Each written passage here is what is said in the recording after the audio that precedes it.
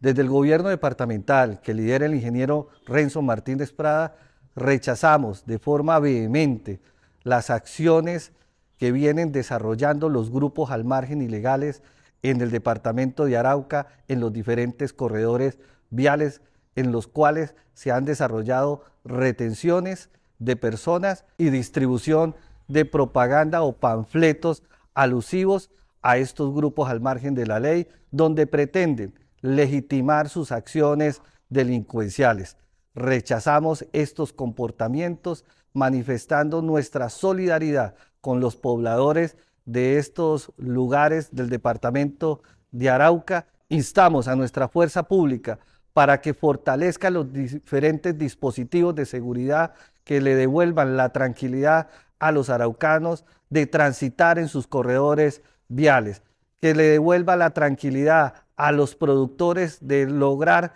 seguir comercializando sus productos sin ningún tipo de inconveniente. Invitamos a las organizaciones internacionales que desarrollan sus misiones en el departamento de Arauca para que estén vigilantes de estas acciones y puedan ser eh, colocadas en conocimiento del contexto internacional para su respectiva denuncia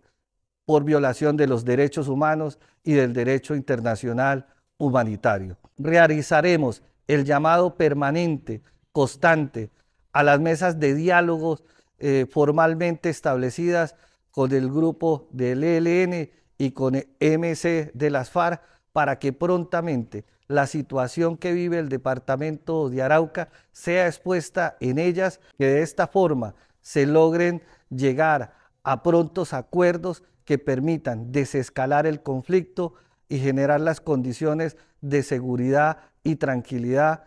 eh, mínimas para que retorne la paz al departamento de Arauca.